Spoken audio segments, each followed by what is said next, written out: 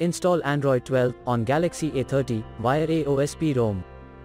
Please check the description for important notes and all the download links.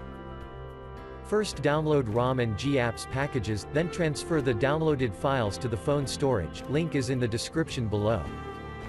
Step 2. Boot your device into TWRP recovery.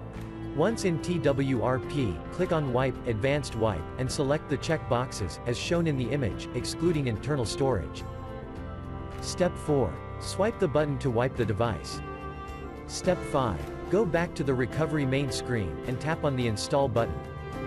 Step 6. Navigate to the storage, and select the ROM zip file. Step 7.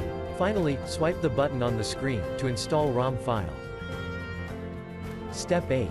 Flash the GApps zip package, in the same manner. Step 9. After GApps flashing completes, select Wipe Cache and Dalvik from bottom left side of screen, and swipe to wipe. Step 10. When the flashing process is complete, hit Reboot System. That's it, you have successfully installed the ROM on your device.